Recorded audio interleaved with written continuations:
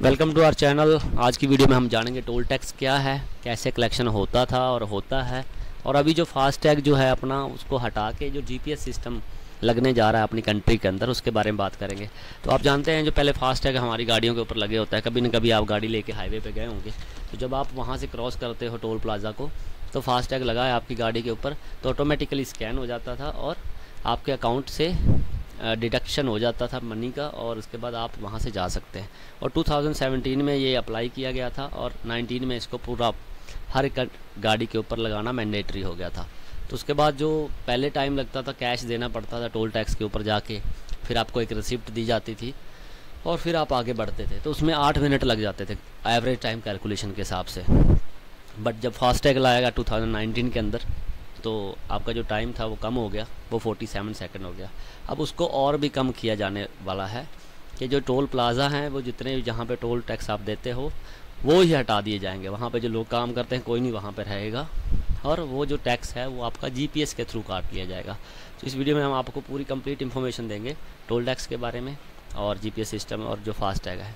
तो इसको हम कवर करेंगे फॉलोइंग पार्ट्स में। सबसे पहले बैकग्राउंड जानेंगे हम टोल टैक्स की फिर टोल टैक्स होता क्या है किस लिए लगाया जाता है, जैसे बाकी टैक्स भी देते हैं ना हम हर चीज़ के लिए, अपनी कंट्री के अंदर। तो टोल टैक्स भी है हाईवे के लिए। जो रोड्स बनाती है गवर्नमेंट ना, उसके लिए आपको टैक्स पे करना पड़ता है। तो फीचर्स क्या क्या होते हैं इसके अंदर? और एक और चीज़ ऐड आती है इसमें टोल टैक्स और रोड टैक्स दो तरह के टैक्स हैं। होते तो बेसिकली रोड के लिए हैं हाईवे के लिए हैं बट होते क्या क्या हैं उसके बारे में बात करेंगे। कैसे कैसे कलेक्शन किया जाता है, किस बेस पे किया जाता है, गाड़ी बड़ी, छोटी, जो भी है, उसके बारे में बताएँगे। फास्ट टैग सिस्टम और जीपीएस सिस्टम के बारे में। चलिए वीडियो को शुरू करते हैं। तो जो टोल टैक्स है, ये एक चार्ज है, जैसे आप जाते हो, आपको पता है, ड्राइवर जो पे कर रहा है। ड्राइवर आप भी हो सकते हो, या फिर आपकी गाड़ी कोई और चला रहा है तो उसको पे करना पड़ता है। जब भी कोई एक्सप्रेस हाईवे क्रॉस करते हैं, टनल्स, ब्रिज, जिनको गवर्नमेंट बनाती है, जैसे N H A I national highway authority of India वो बनाती है तो आप उसको यूज़ कर रहे हो और यूज़ करने का आपको टैक्स देना पड़ता है। जैसे हम बाकी चीज़ें खरीदते हैं गुड्स खरीदते हैं या फिर कुछ भी लेते हैं तो हमें टैक्स पे करना पड़ता है। G S T C G S T S G S T इस तरह से। तो ये रोड के लिए एक टैक्स बनाया गया है। जब भी आप रोड यूज़ करोगे हाईवे यूज़ करोगे एक्सप्रेस हाईवे यूज़ करोगे तो उसके लिए आपको देना पड़ेगा। तो ये एनएचएआई डिसाइड करती है और उनके अंडर है। अब जो वहाँ पे काउंटर्स लगे होते हैं, उनको टोल प्लाज़ा बोलते हैं और यहाँ से जो कलेक्शन होती है उसको कंस्ट्रक्शन करने के लिए आगे एन कलेक्शन करती है। उसके बाद वो कलेक्शन जो होती है, वो टैक्स होता है। वो हाईवे मिनिस्ट्री के अंदर आता है और उसके लिए हाईवे बनाना एक्सप्रेस हाईवे बनाना और इम्प्रूव करना इंटर स्टेट कनेक्टिविटी बेसिकली अभी हाईवे बनाने की ज़रूरत क्या है? क्योंकि इकोनॉमी जीडीपी को बढ़ावा देना है और जिसकी भी कंट्री का इंफ्रास्ट्रक्चर अच्छा होगा, उसकी जीडीपी अच्छी होगी। तो इसलिए हाईवे मैन ऑफ़ इंडिया अपने जो नितिन गडकरी जी हैं, उन्होंने कई सारे रोड्स बनाए हैं, एक्सप्रेस हाईवे बनाए हैं, जैसे दिल्ली से मुंबई आप 12 घंटे में आ जाएँगे। तो इस तरह से हाईवे बनाना बहुत ज़रूरी है कनेक्टिविटी के लिए बेसिकली तो ये जो कलेक्शन से पैसा इकट्ठा होता है टैक्स से, उसको यूज़ किया जाता है उसके लिए। और ये जो बूस्ट होते हैं, आपने नोटिस कभी नहीं किया होगा, शायद। तो ये जो 60 किलोमीटर होता है 60 किलोमीटर के बाद दूसरा स्टार्ट होता है। बेसिकली नॉर्मली हमें पता नहीं होता बट एक टोल प्लाज़ा जो है, वो जब ख़त्म होता है तो दूसरा टोल प्लाज़ा आएगा तो उसके बीच में एवरेज 60 किलोमीटर का होता है। और इतना अगर आपने गाड़ी चलाया है तो आपको वहाँ पे जाके पे करना पड़ेगा। उससे पहले ही आपकी अगर डेस्टिनेशन आ गई, आपने लेफ़्ट राइट ले लिया तो फिर आप जा सकते हैं अदरवाइज़ आपको फिर पे करना पड़ेगा। इन्फॉर्मेशन अच्छी लगी हो तो सब्सक्राइब और शेयर लाइक ज़रूर करना हमारे चैनल को, क्योंकि आपकी सपोर्ट चाहिए हमें और इसी इन्फॉर्मेटिव वीडियो बनाने के लिए। चलिए आगे जानते हैं। अब जो फीचर्स हैं इसके टोल टैक्स के क्या हैं? तो सबसे पहले इनडायरेक्ट टैक्स है जो गुड्स और जो इंडिविजुअल हैं। जैसे कोई गाड़ियाँ भर के जाती हैं जैसे कैरियर होते हैं जिसमें एक स्टेट से दूसरी स्टेट में इंपोर्ट एक्सपोर्ट अंदर ही अंदर करते हैं हम लोग। तो उसके लिए अलग लगता है और जो इंडिविजुअल हम अपनी खुद की पर्सनल गाड़ी लेके जाते हैं वो हाईवे के ऊपर। तो, तो अलग लगता है। तो ये जो टैक्स होता है कलेक्शन करने के बाद रोड नए बनाने के लिए मेंटेन करने के लिए जो पुराने होते हैं, जो स्टेट भी स्पॉन्सर्ड अथॉरिटीज़ होती हैं, जो स्टेट हाईवे भी आपने देखे होंगे, उनके लिए ये टैक्स को यूज़ किया जाता है। और ये बोथ जो होते हैं, उनके लिए होता है और आपको रिसिप्ट भी दी जाती है। बट अभी जो फास्ट टैग है और जो जी सिस्टम है, इसके अंदर आपको रिसिप्ट वगैरह पेमेंट नहीं दी जाएगी। ऑटोमेटिकली आपके अकाउंट से डिडक्ट हो जाएगा। और उसके बाद आप मूव कर सकते हैं। आपको एक एसएमएस ज़रूर आया करेगा कि हाँ जी, इतना आपने यूज़ किया था और इतना आपके अंदर कट गया है। अब जब टोल प्लाजा वैसे खड़े रहेंगे, लेकिन उतना डिस्टेंस के कवर करने के बाद आपका उतना काट लिया जाएगा। जब जो रेवेन्यू जनरेट होता है वो एन सिर्फ़ रोड बनाने में डिस्ट्रीब्यूट नहीं करती, और भी कई जगह पे प्राइवेट पार्टीज़ होती हैं, जैसे कॉन्ट्रैक्टर्स होते हैं। कॉन्ट्रैक्टर्स को हायर किया, उनको कॉन्ट्रैक्शन दिया कि हाँ भी एक पर्टिकुलर स्ट्रेच करना है आपको मेंटेन जैसे यहाँ से लेके इतने किलोमीटर का जो एरिया है वो आपका है, उसको आपने मेंटेन करना है, उसके आसपास में पेड़ पौधे लगाने हैं, अगर कहीं टूट रहा है तो उसको मेंटेन करना है तो उनको एक कॉन्ट्रैक्ट दे दिया जाता है। उसी रेवेन्यू में से ही दिया जाता है, उसी टैक्स कलेक्शन से ही दिया जाता है। अब जैसे टोल प्लाज़ा वगैरह आते हैं तो आपने देखा होगा टोल प्लाज़ा के पास अगर रुकेंगे आप तो लेफ़्ट में राइट में, या फिर आगे पीछे आपको कई सारी शॉप देखने को मिलती हैं, जहाँ पे टॉयलेट वगैरह सैनिटाइजेशन के लिए, या फिर पानी पीने के लिए drinking water facilities fire safety अगर कुछ हो जाता है, और भी कई सारी शॉप्स होती है, जैसे आपकी गाड़ी में कोई प्रॉब्लम हो गई मैकेनिक्स वगैरह तो वो जहाँ पे फैसिलिटीज़ को मेंटेन करने के लिए जो रेवेन्यू इसी से यूज़ किया जाता, इसी से यूज़ किया जाता है। अब कलेक्शन कैसे कैसे किया जाता है, जो बेसिकली आपने देखा होगा कि आपकी पर्सनल गाड़ी है तो आपको कम देना पड़ेगा, लेकिन अगर बड़ी गाड़ी है तो उसको ज़्यादा देना पड़ता है। वो डिपेंड करता है व्हीकल के साइज़ के ऊपर। और कैरीज क्या क्या वेट कैरी कर रहा है, क्या लेके जा रहा है और पर्पज़ क्या है उसका? वो कमर्शियल है या फिर पर्सनल है? तो उसके हिसाब से कैलकुलेशन किया जाता है और उसके हिसाब से लिया जाता है। जैसे बड़ी गाड़ी है तो उसको ज़्यादा देना पड़ता है। कई लोग पास बनवा लेते हैं कि मंथली पास के हमने, हमारा जैसे एक ही डायरेक्शन है कि यहाँ से यहाँ जाना है, उसमें बीच में चार पाँच टैक्स आते हैं तो वो मंथली बनवा लेते हैं पास बनवा लेते हैं और दिखा के चले जाते हैं। बट अभी तो फास्ट टैग चल रहा है तो उसके हिसाब से अकाउंट से ऑटोमेटिकली डिटेक्ट होते रहते हैं। तो जो ये लिया क्यों जाता है? एनएचएआई लेती है जैसे हमने पहले भी डिस्कशन किया लेकिन होता क्या है कि बड़ी गाड़ी छोटी गाड़ी का कंसेप्ट क्या है कि जो डैमेज होता है रोड को जैसे अभी छोटी गाड़ी है तो उतना ज़्यादा डैमेज नहीं करेगी रोड को तोड़ेगी नहीं रोड टूटेगा उसको फिर मेंटेन करना पड़ेगा उसके ऊपर फिर आ, लगाना पड़ेगा हमें सारा सिस्टम तो उसके लिए क्या होता है जो बड़ी गाड़ियाँ हैं वो ज़्यादा डैमेज करती हैं इसलिए उनसे ज़्यादा लिया जाता है।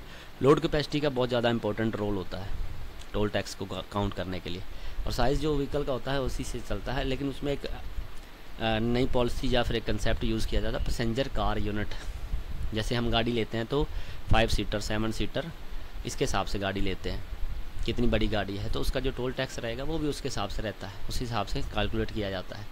अब जो इतने रीजन्स हैं, इन रीज़न के हिसाब से गवर्नमेंट डिसाइड करती है, जैसे टू व्हीलर हैं, उनको एग्जाम्प्टेड है, उनको टोल टैक्स नहीं देना। आपने टोल प्लाजा के आसपास में देखा होगा कि साइड से एक जगह बनी होती है और वहाँ से आप क्रॉस कर सकते हो आराम से, जो अगर आपके पास टू व्हीलर है। और जो फिर पैसेंजर कार यूनिट की capacity less than one person अगर एक बंदे से कम है उसकी कैपेसिटी, जैसे हमने पहले बात की फाइव सीटर सेवन सीटर तो उसमें से अगर एक कैपेसिटी है तो उससे आप पे नहीं करना पड़ेगा आपको। तो इसी कैटेगरी में आते हैं। उसके बाद जो रोड टैक्स और टोल टैक्स के अंदर क्या फ़र्क रहता है? ये कई लोगों को कन्फ्यूज़न होगा।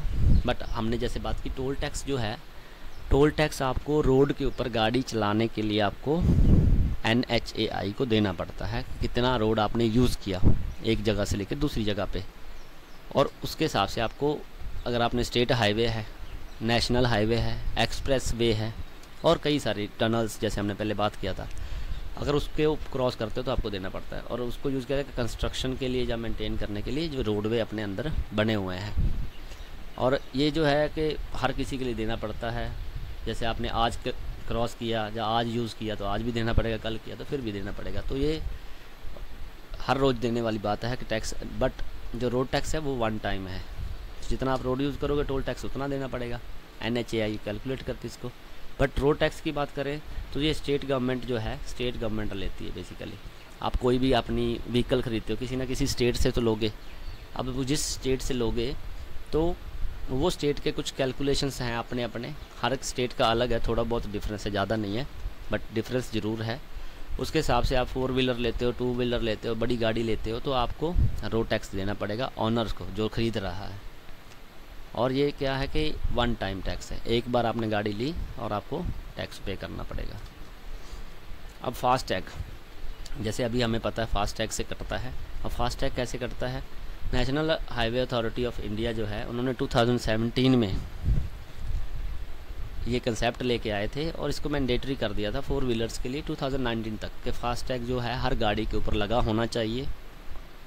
सो दैट आप टोल प्लाज़ा को क्रॉस करोगे तो ऑटोमेटिकली ये स्कैन होगा और आपके अकाउंट से पैसे डिडक्ट हो जाएँगे और जो आपका वेटिंग टाइम है वहाँ पे, वो बिल्कुल कम हो जाएगा। और ये टेक्नोलॉजी किससे काम करती है? R F I D radio frequency identification technology वहाँ पे कैमराज लगे होते हैं। वो कैमरे आपके फास्ट टैग को स्कैन करते हैं। स्कैन करने के बाद आपके अकाउंट से उतना पैसा डिडक्ट कर लिया जाएगा। चाहे आप टोल प्लाजा के दो किलोमीटर पहले से भी चढ़े हैं, या फिर दस किलोमीटर पहले से चढ़े हैं उस रोड के ऊपर उसको यूज़ किया है आपने दस किलोमीटर। और उसी चीज़ को काउंटर करने के लिए जीपीएस सिस्टम आया है कि आप जितना यूज़ करोगे, उतना ही आपका काट लिया जाएगा। अब फास्ट टैग जो इशू होते थे, वो टोटल अप्रॉक्स अपनी कंट्री के अंदर 22 प्राइवेट और पब्लिक सेक्टर बैंक है, like Syndicate Bank State Bank of India, Axis Bank और और कई सारे बैंक्स थे। पेटीएम जो अभी फ़िलहाल कई न्यूज़ में सुनने को हमने मिलता है तो कई सारे उन्हें मिल के जो national payment corporation of India है, एन इसके साथ मिल के फास्ट टैग इशू करने शुरू किए थे और उसी हिसाब से आपके अकाउंट से पैसे काट लिए जाते थे। अब नई जो कंसेप्ट आ रहा है टोल टैक्स जीपीएस सिस्टम के हिसाब से।